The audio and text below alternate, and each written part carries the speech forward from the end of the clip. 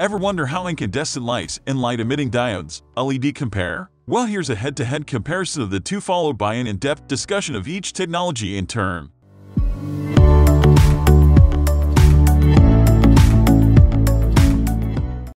Incandescent lights. The incandescent light is your classic light bulb. It produces light by heating a wire filament to a temperature that results in the generation of light. The metal wire is surrounded by a translucent glass bulb that is either filled with an inert gas or evacuated. They're really cheap to manufacture and accordingly, they're really cheap to purchase. Incandescent bulbs are widely available and adaptable to a large range of voltages, light outputs, and current. They are the cheapest light on the market. Additionally, incandescent lights have a notoriously good ability to render color. The Color Rendering Index, CRI for an incandescent bulb with a color temperature of 2700 K is 100. As color temperature rises the CRI ratings drop off only slightly but typically remain above 95. LED stands for light emitting diode. A diode is an electrical device or component with two electrodes through which electricity flows characteristically in only one direction. Diodes are generally made from semiconductive materials such as silicon or selenium solid-state substances that conduct electricity in some circumstances and not in others. When current passes through the semiconductor material the device emits visible light.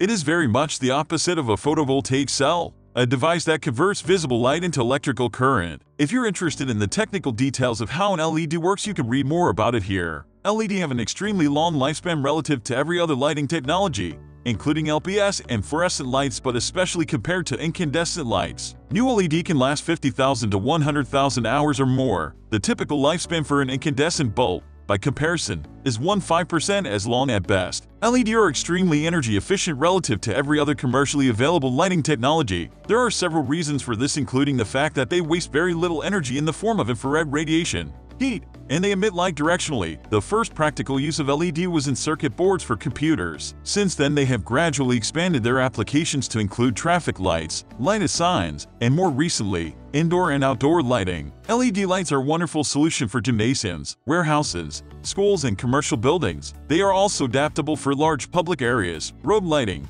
and parking lots. The two different technologies are entirely different methods of producing light. Sodium vapor bulbs contain metals that are evaporated into an inert gas within the glass casing while LED a solid-state technology. Both technologies are very efficient. The difference is that sodium vapor lights were the most efficient technology of the 1907 as while LED are the modern-day equivalent. Although sodium vapor lighting beats virtually every other technology in terms of energy efficiency, which is why it was chosen to illuminate the streets of so many cities it loses out to LED. Both LED and sodium vapor lights emit electromagnetic radiation across a small portion of the visible light spectrum.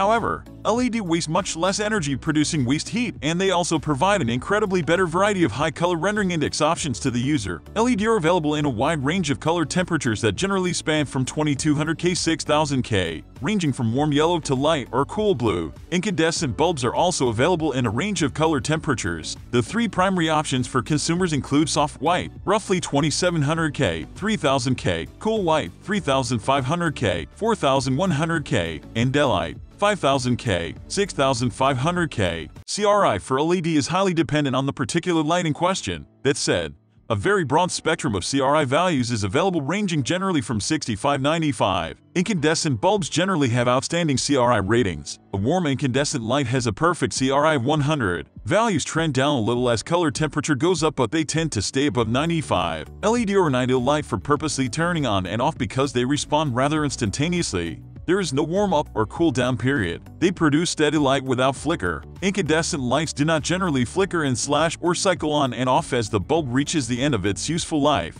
Rather, incandescent light tends to emit less light prior to total failure at the end of its useful life. Incandescent lights also turn on rather instantaneously and produce steady light generally without flicker. LED are very easy to dim and options are available to use anywhere from 100% of the light to 0.5%. LED dimming functions by either lowering the forward current or modulating the pulse duration. LED lights are not compatible with traditional incandescent dimmers which lower the voltage sent to the light so you need to purchase LED dimmer switches as well if you want to dim. Incandescent lights are also very easy to dim. Incandescent light is extremely sensitive to voltage inputs and dimming works by exponentially emitting less light as the voltage is reduced. For better or worse, and different than LED incandescent dimming has a larger effect on other characteristics of the light such as power consumption, lifetime, and color temperature. LED lighting has relatively high initial costs and low lifetime costs. The technology pays the investor back over time. The major payback comes primarily from reduced maintenance costs over time and secondarily from energy efficiency improvements. Incandescent lights are by far the cheapest light to purchase on the market but they are bare to maintain over time because their lifespan is so short. Incandescent lights will likely need to be purchased 20-50 times and the associated labor costs will need to be paid in order to attain the equivalent lifespan of a single LED light. Additionally, incandescent lights have the highest energy costs on the market. Now it's your turn. Which one impresses you the most? Let us know in the comments section below. Also, do share and subscribe to our channel for further video notifications.